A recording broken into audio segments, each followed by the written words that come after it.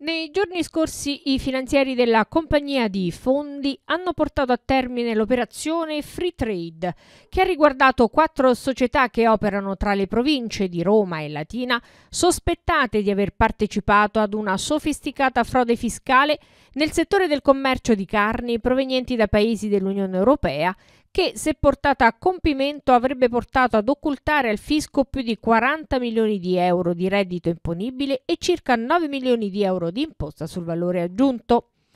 L'attività che ha preso le mosse dall'esame di alcune sospette movimentazioni di denaro sui conti correnti di un imprenditore fondano ha permesso di individuare tre società tra loro collegate che, sebbene risultavano operative attive nell'importazione di carni da paesi dell'Unione Europea, erano prive di qualsivoglia struttura operativa e completamente sconosciute al fisco.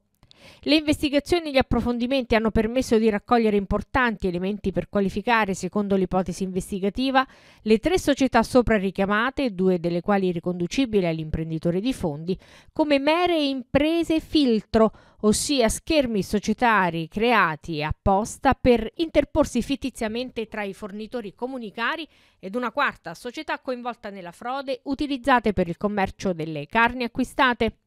Il meccanismo fraudolento per effetto dell'IVA non pagata al fisco avrebbe permesso alle aziende coinvolte con sedi a Fondi, Ostia ed Ariccia di acquistare le carni a prezzi sensibilmente inferiori a quelli correnti per poi rivenderle a prezzi più bassi rispetto alla concorrenza, alterando le regole di mercato e allo stesso tempo realizzando comunque un significativo margine di guadagno nell'arco di pochi anni.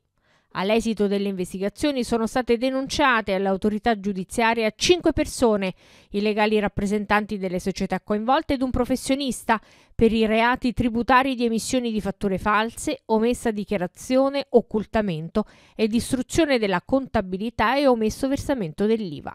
Nei confronti dei cinque soggetti su richiesta della Procura della Repubblica di Velletri è stato disposto il sequestro di beni e di disponibilità finanziarie fino alla concorrenza di oltre 15 milioni di euro.